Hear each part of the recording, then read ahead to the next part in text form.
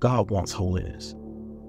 Mark chapter 1, verse 15 says it this way and saying, The time is fulfilled, and the kingdom of God is at hand. Repent ye and believe the gospel. My friend, sin is no joke.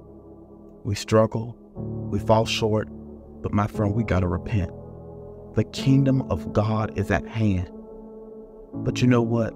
You don't have to die in your sins. You don't have to die in your iniquity.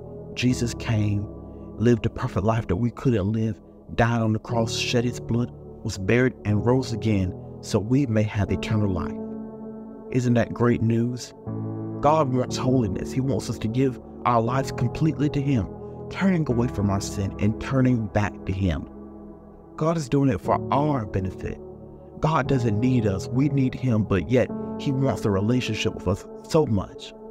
That is what I call a loving God who loved us even though we were sinners, even though we fall short each and every day. He still loves us and He still waiting with open arms. My friend, you've been running from God.